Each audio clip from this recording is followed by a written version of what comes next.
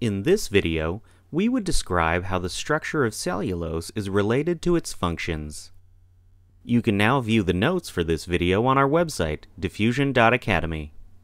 First, let's describe the structure of cellulose. Cellulose is a polymer of beta-glucose molecules. Alternate beta-glucose monomers are oriented 180 degrees to each other and are linked by beta-1,4 glycosidic bonds to form a cellulose chain. Each cellulose chain is a long, unbranched chain with hydroxyl group projecting outwards.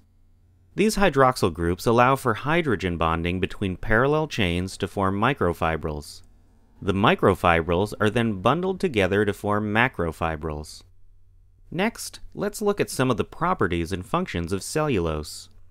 Firstly, cellulose has high tensile strength due to the cross-linking between parallel chains. This gives cellulose stability as a structural material. Cellulose are used in plants for various purposes. For example, cellulose prevents plant cells from bursting when placed in solutions with higher water potential. Cellulose is also used as a cell wall material for structural support in plants. Secondly, there are large intermolecular spaces between macrofibrils, this allows passage of water and other solute materials in plants.